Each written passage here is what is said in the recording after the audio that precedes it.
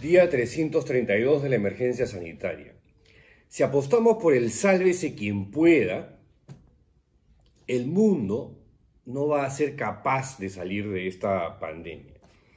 Y la pandemia, ya sabemos, no se va a acabar hasta que estén vacunadas todas las personas del planeta. O, en su defecto, se encuentre alguna suerte de tratamiento eficaz contra el COVID.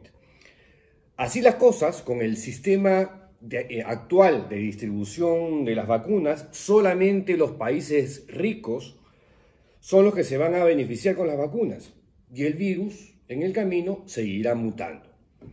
Eso a la larga solamente puede traer consecuencias negativas y nefastas para todos. Los países de ingresos altos albergan solamente al 16% de la población mundial.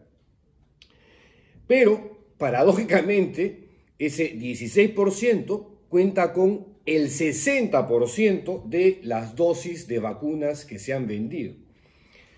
Esa política desigual e inequitativa solamente va a provocar más muertes a nivel global y va a devastar todas las economías. Si el virus continúa propagándose y mutando, lo único que va a ocurrir es el incremento del riesgo de que las vacunas se vuelvan ineficaces ante las nuevas cepas. A ver, las vacunas son bienes de salud pública, bienes de salud pública. En consecuencia, deberían distribuirse de manera equitativa y gratuita.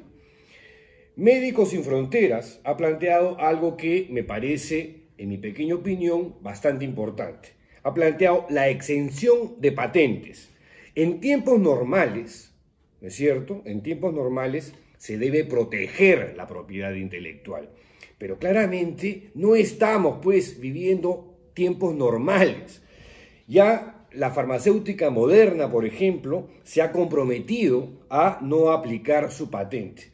Y como dice la Organización Mundial de Comercio, la OMC, los derechos de patente pueden ser revocados temporalmente, temporalmente en situaciones excepcionales.